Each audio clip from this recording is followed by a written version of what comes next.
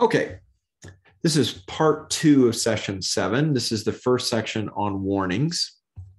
And in this, uh, we're going to stick uh, in Matthew 7, the warnings that are in Matthew 7.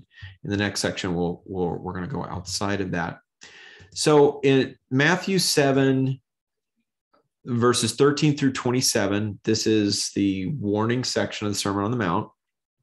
And there are three warnings and a parable. So the first warning is the warning of the wide and narrow gate um, and wide and narrow path. And that's verses 13 through 14. And we'll look at each of these momentarily. Warning two is to watch out for uh, false prophets. And I'm going to add teachers to that. They certainly would have thought about it that way um, at that time, but it's um, both of these sort of equally can uh, can lead us astray. That's verses 15 through 20. And then finally, warning three is that many, uh, I'm, I'm going to put it this way, many believers, in quotes, are turned away. And that's verses 21 through 23. And then finally, a parable of the two foundations, verses 24 through 27. So that's our section. That's how it's divided up. And, um, you know, different Bible versions and translations are going to divide these things up differently. This is how I'm I'm doing it, and I I believe this is really the way in which to understand these sections. Um, all right, so let's do the first one. Warning one: the wide and narrow gate slash path. Here's our here's our verses.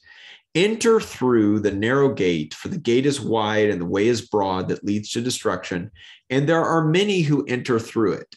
For the gate is narrow and the way is constricted that leads to life, and there are few who find it. So, first of all, the, the world's way, that's that knowledge of good and evil that we've talked about, it's, it's an attractive path. In fact, it's, it's uh, many different attractive paths and it's followed by many, right? So, so when he, when he says, you know, the, the, the wide gate and the um, the broad way it's it's that that's the way most people are looking at and going oh that's the way i want to go right? And that's that's really again that's the world's way. It's the, the that knowledge of good and evil way. And people look at it and they want to go that way. God's narrow path or gate is the only way that leads to life. L- look at what Jesus says here. He says that um, the, the broad, narrow way leads to destruction. Many enter it. But the narrow gate is the way that leads to life. And uh, so, in other words, that narrow path, it's the only way. All the other ways, they all lead to destruction. This one way leads to life. And uh, and that narrow path, as we've seen, is obedience to God's reign and rule. Like you enter into the covenant and you uh, you uh, um, you enter into his reign and rule and you obey it. That is the way. There's no other way. So, warning one is a warning to follow Christ and not the world. And so this would apply to both Christians and non-Christians, right? It's a warning to non-Christians. Eh, you know, if you if you don't follow this way, if you follow the world's way, that's the way that leads to destruction. And it's a warning to Christians if you put yourself on the path, but then you go over to the wide path, you're you don't stay on the narrow path, you're headed to destruction.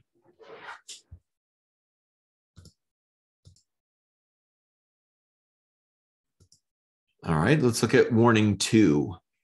This is watch out for false prophets or teachers. And so our section here is Matthew 7, 15 through 20. So let's read it. Beware of the false prophets who come to you in sheep's clothing, but inwardly are ravenous wolves. You will know them by their fruits. Grapes are not gathered from thorn bushes, nor figs from thistles, are they?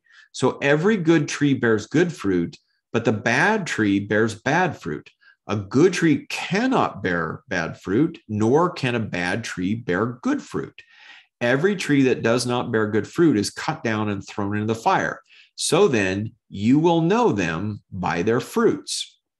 Okay, so first of all, understanding that you know what is it, you know what is a prophet, what is a teacher, um, they speak for God, right? So this is basically you can think of this Christian leaders; they're speaking for God, and and so we want to keep that in mind that that's what we're talking about here, and then Jesus gives us a test that is a test that's not about what they're saying, right? So a lot of people think in terms of you know, watching out for false teachers or prophets in terms of what they are saying, right?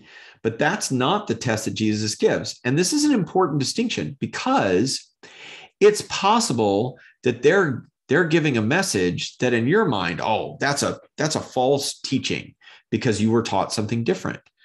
But you may be dead wrong that other person may be correct in what they're teaching. And so, if you were to evaluate them as a, a false teacher or prophet based upon the content of their met, the interpretation of a scripture or a particular theology or something, that is not the test that Jesus has given us for is this a false prophet or a false teacher? So the fruit, this the is the life that they're living. Are they living out these kingdom principles? And you know, when we look at them, are they? Uh, is this a person who is um, poor in spirit? Is this a person who cries out to God? Is this a person who's humble? Uh, um, who is this a person who's merciful? Is this a person who tries to make peace amongst people and you know that that kind of stuff? Or do they have uh, characters like that. Well, they get into fights with people, and um, they, um, you know, they're they maybe they've got some some pretty serious character flaws and and stuff like that. Maybe they're they seem to be teaching a good message, and they seem pretty nice most of the time, but you keep seeing these indicators that there's some bad fruit there, right? And so the because Jesus says there, if you're seeing some bad fruit, you you know that the tree is bad. You don't really need to know a whole lot more about the tree right? You saw this fruit you go mm, that's that's pretty bad. And so it doesn't even really matter if what they're teaching is true. They are a false teacher Think about that for a minute. Jesus is saying they're not a false prophet or teacher because they said something that wasn't true. Not to say that you couldn't have that situation, but he's saying if their behavior does not align with um, the production of kingdom character then you can know what's really going on, the inside of that person. I like to call this um, windows to the soul. That you're, you know, you're seeing little things about a person and their character come out in in these little fruit kind of ways, something that comes out of them. And it gives you insight to what's going on inside them because obviously none of us can know what's going on inside of another person, barring them telling us um, truthfully or a, a, revelation from God. So just normally, I can't tell what you know what's going on in your heart and mind. Right? You may be saying one thing but thinking something else. Uh, you may be motivated by something that I don't even recognize or understand. All those kinds of things. I can't know the interior that's going on in your soul, but I can see that outward stuff. Right? I can see that you know wow, this this person pretty much they, they easily lose their temper. I, I feel like their message is correct, but they they easily lose their temper. That person not that this person does not need to be a teacher. I don't need to, I shouldn't recognize them as a teacher. And here's why. Because they lead people to, to, to destruction. Remember, Jesus is warning us that you're you you have to go down the path of obedience you have to actually do these things, right? And these people are going to lead you down the path of disobedience. And it doesn't matter if they're teaching you right theology.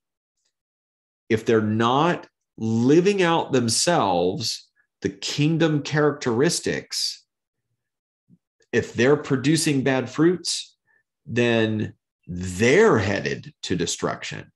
And anybody who's following them is in danger of being led down that same path. Now, let's move to warning three.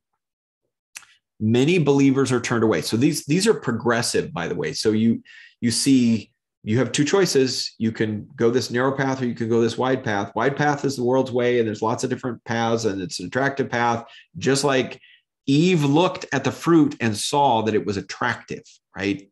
To something to be desired. And and so she went down that way with with adam and that's the way the world goes right? But god's way is this one way. So you need to make a choice. This way of obedience under his reign and rule there's your choices right?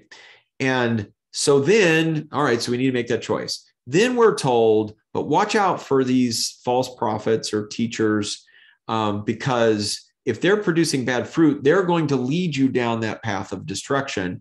And then warning three is going to give us the the you know some serious consequences, things to really think about that we need we need to be um, sober about these things. So let's read the section. 7 chapter 7 verses 21 through 23. Not everyone who says to me, Lord, Lord, will enter the kingdom of heaven, but the one who does the will of my Father who is in heaven will enter. Many will say to me on that day, Lord, Lord, did we not prophesy in your name, and in your name cast out demons, and in your name perform many miracles? And then I will declare to them, I never knew you. Leave me, you who practice lawlessness. So, a, a, quick note on Lord, Lord, that first, not everyone who says to me, Lord, Lord, will enter the kingdom. It's important to understand that when a person says, Lord, Lord, it means that they're saying, "Hey, you're my Lord. Uh, I uh, um, I am your servant. I'm underneath you. You know that that sort of thing. I'm going to follow you." And but he's saying, you know, it if they're saying it, but they're not doing the will of the Father, then it's just lip service, and and that's not you know that's not what's going to happen if they're not following him then they by default are practicing lawlessness so Jesus is talking about people who definitely consider themselves to be Christians. These are people who have had the Holy Spirit. And that, I, to me, I, I call this the scariest two verses or three verses in, in the whole of the Bible. That these are not un, unbelievers in the sense of non Christians, right? These are actual Christians. At least they they they certainly thought of themselves. They said, Lord, Lord. They said, I'm going to follow Jesus. But they didn't do it. Right? They didn't, they didn't actually obey him. And then they're going to say, but wait a minute, we did all of these things that are Holy Spirit things, prophesying, casting out demons, performing miracles, right? These are they were actually doing the the the these things of the spirit and they were living out what they believed was a Christian life, but it was in terms of these religious actions or these spiritual manifestations of power and, and those sorts of things. That's who we're talking about. But um, but they weren't obedient, right?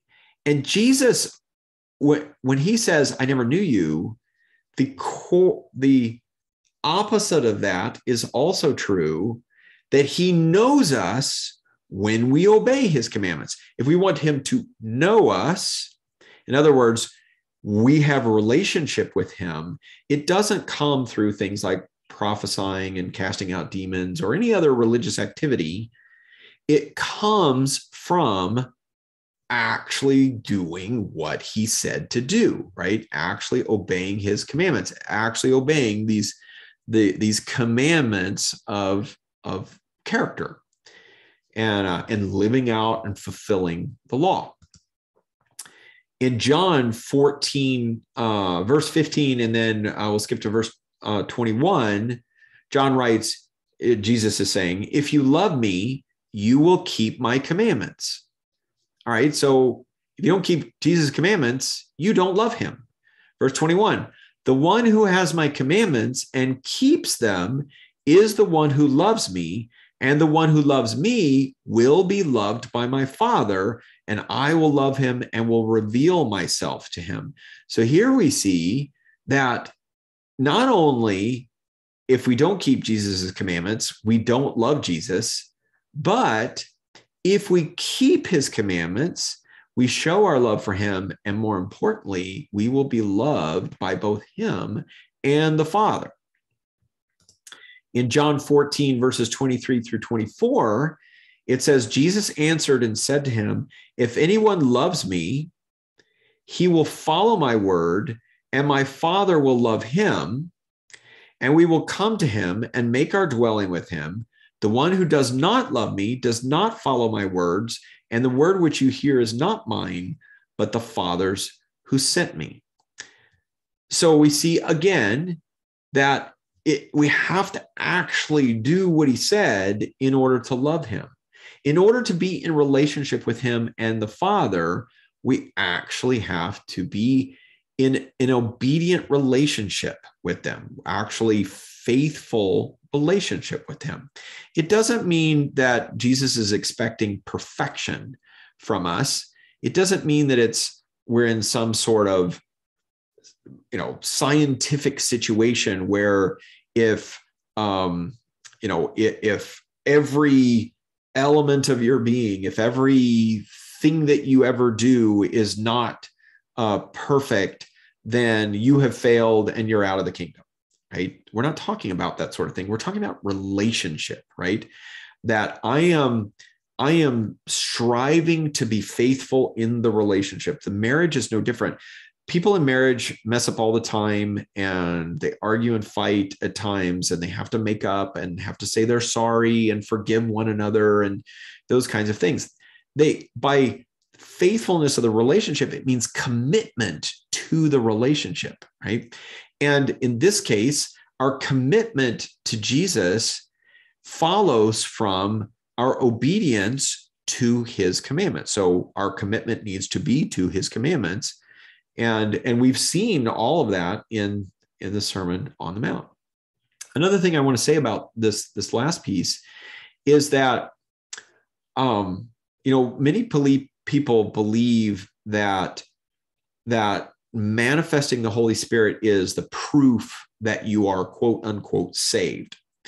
But that's not really true. And, and we've seen that here. Jesus says that's not true, right? You know, if just because you did those things, it doesn't mean that you get in. If you were not in a, a faithful relationship with him, he doesn't even know you, right? And if you weren't striving to obey and re- abide and remain in his commandments and coming back if you stray come back and and and that's your focus to have a good relationship that's based on obedience to his commandments. Um so the holy spirit is not is not actually proof of that salvation. The holy spirit is is the holy spirit is proof that you're actually in the covenant right? If you if you don't have holy spirit you're not actually in the covenant because the Holy Spirit is part of the covenant. Where we'll see that in uh, session eight and nine, and that if so, it's not proof that you're saved. Proof that you're saved is remaining faithful to Jesus, especially under situations of pressure and persecution and temptation and those things. If I, I remain faithful through those things, that is the proof of my salvation. Um, and you can see that in in First Peter. Um, but it is actually proof that I'm actually in the covenant and that you know I'm obligated to the life of of that spirit. Okay, let's look at the last part, which is the parable of the two foundations. This is Matthew 7, 24 through 27. So let me read it. Therefore, everyone who hears these words of mine and acts on them will be like a wise man who built his house on the rock. And the rain fell, and the floods came, and the winds blew and slammed against that house, and yet it did not fall, for it had been founded on the rock. And everyone who hears these words of mine and does not act on them will be like a foolish man who built his house on the sand. And the rain fell, and the floods came, and the winds blew and slammed against that house, and it fell, and its collapse was great. Okay, so first of all, just you know, parables have basically metaphors and whatnot that are intended to make us think about something that is real. And and they have a, a particular point that they're trying to make. So in this case the house uh, represents your life. And the foundation represents your obedience or disobedience. And the rains floods and wind represent the future coming judgment when jesus returns. So if you act on jesus's commands you will have a sure foundation in the judgment right that's it's therefore everyone who hears these words of mine and acts on them is like a wise man, right? Who built a, a good foundation. So, in other words, if you're acting on Jesus' commands, you're living out a faithful life in pursuit of obedience to, to those character commandments, then you're going to survive the judgment. But if you don't act on Jesus' commands, your foundation will fail in the judgment. You will not survive it. John in First John is basically going to call this practicing righteousness or practicing sin or unrighteousness, right? So if I'm acting on it, means I'm practicing the righteousness. I'm practicing Jesus's commandments. I'm, I'm, I'm working on it. And, I, and as Ephesians 4 would talk about, I'm maturing in Christ. I, it's a it's a virtuous cycle of getting better and better and better at it. That's what Jesus. It's just like a baby. I, when I, when you're a baby, you can't you can't run around, right? You, you first you learn to crawl, then you learn to to wobble around, pull yourself up, then you learn to stumble around, and eventually you're walking, and eventually you're running, right? And so it's that sort of you know you know thing that that should be occurring in our lives when we practice righteousness. But if I don't really care about that very much and I'm just continually practicing unrighteousness, it doesn't matter what my mouth says, right? My fruit is bad and I'm headed for destruction. All right, so let's review part two. God's way in the new covenant is the only way that leads to life. Every other way leads to destruction.